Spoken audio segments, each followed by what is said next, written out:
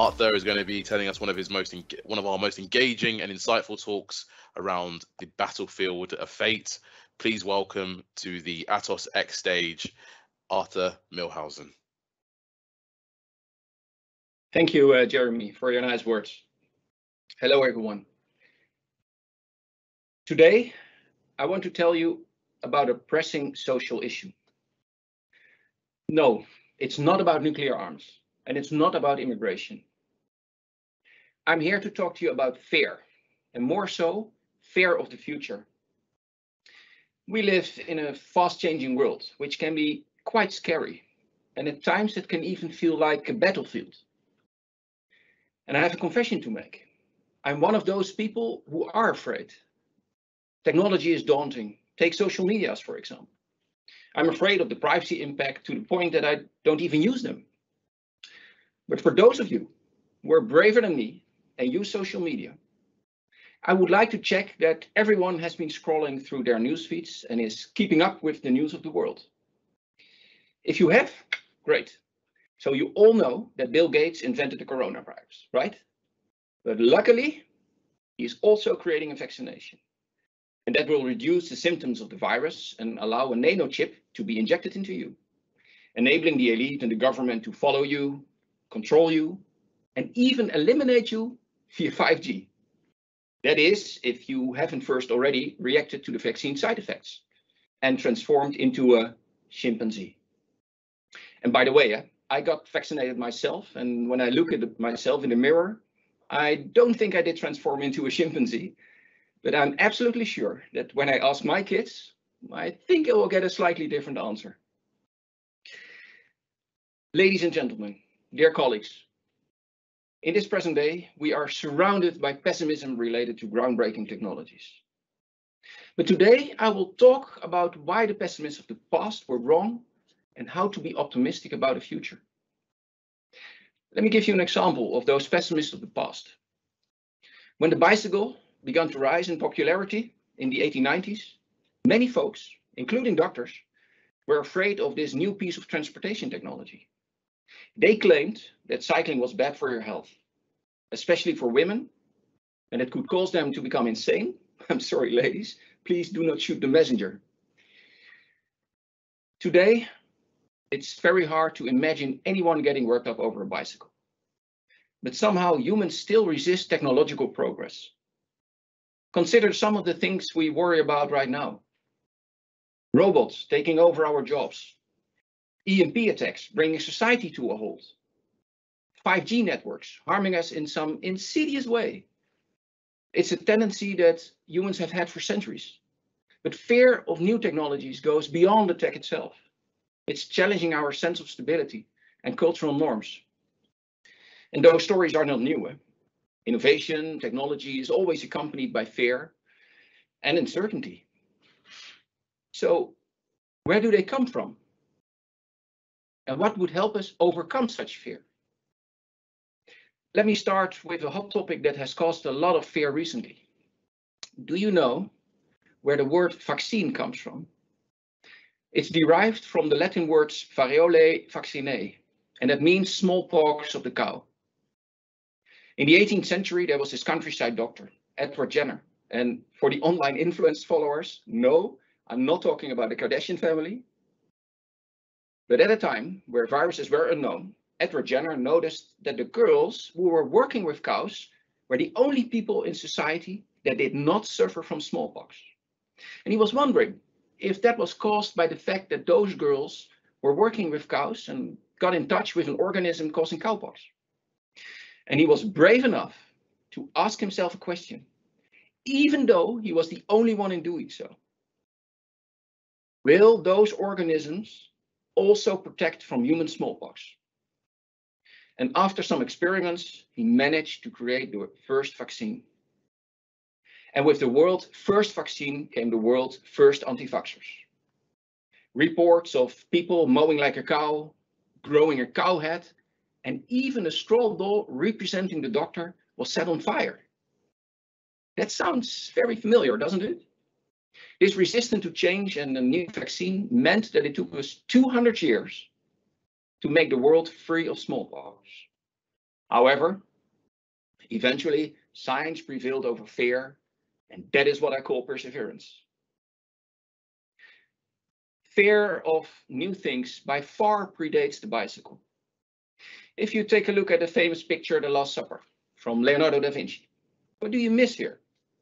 You see knives, glasses, plates, a lot else, but there are no forks. In the Middle Ages, the fork was considered as an instrument of the devil. And it took us eight centuries from its first recorded sighting to become employed universally at tables in the West. But what about something that is on your and my tables today? There was this drink that could you make you sterile or drive you into, into a state of hysteria. Would you allow such a drink in your society, in our society, on your table? I guess that would be an absolutely no-go, right? Because coffee. Scientific and technological breakthroughs are usually suffering from their own success. What was a breakthrough yesterday is considered absolutely normal today. And there's this comedian, and he has a story about passengers on an airplane just before takeoff.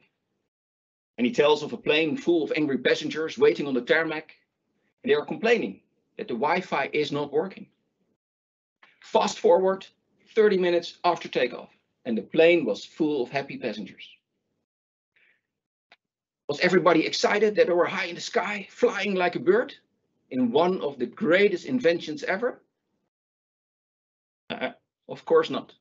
The internet connection was restored. You cannot stop technology. You can only think about the direction and how can you think about the direction technology will go? By asking questions. Unfortunately, with the rise of accessibility to information in this modern day, we've seen a fall in the number of questions asked. And did you know that nowadays students are five times less critical than in the past? If you don't ask questions, how will you learn? It's all about why, why, why critical thinking is not just posting your opinion on Twitter or Facebook. You need to challenge your teachers, your colleagues, your boss. Challenge the norm and the status quo. And I know eh, it's quite difficult. It requires an open mind. Uh, you need to talk to people. And we find it hard to accept a different opinion. And it's hard to create room for critical thinking. It asks for braveness. Be provocative.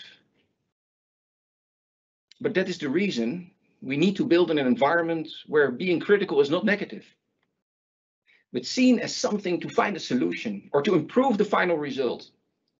And I believe we should teach future leaders of today to ask questions, to reason and to explain their steps. Because with more questions comes greater understanding. And with greater understanding, there's less fear for the future. And how do I know that critical thinking with new technologies forms a solution to the problems of the future. Because it has worked in the past. And life as we know it was not always as pleasant in Europe as it is right now. Diseases and epidemics, they struck mercilessly. Cholera, typhoid, the plague, malaria, smallpox, not even to mention flu and diarrhea. At that time, eh, still life-threatening. Nature decided you would die around 35. However, even in such bad times, within a few generations, life expectancy is doubled. I mean, we have food, we have hygiene, we have medication. Humanity created the world our ancestors described as heaven. But there's this little voice eh, in the back of your head asking, yes, but what about losing my job? What about the future of my kids? What about destroying the planet? That sounds all very negative, right? And do you notice the match with the resistance to vaccinations? There was this philosopher, Sir Karl Popper, and he said, optimism is a moral duty. We're not living in a perfect world, and yes, we face a lot of huge problems. But we cannot lose sight on our ability as a species to solve problems. Do you remember this hole we made in the ozone layer? We fixed it.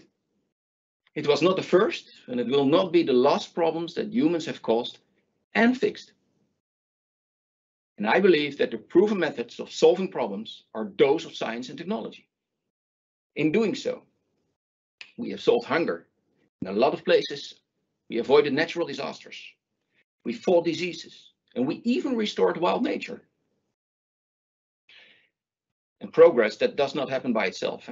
There is no mysterious force that propels humanity upward and that guarantees that the story ends well. We need to work hard and asking questions will help generate ideas.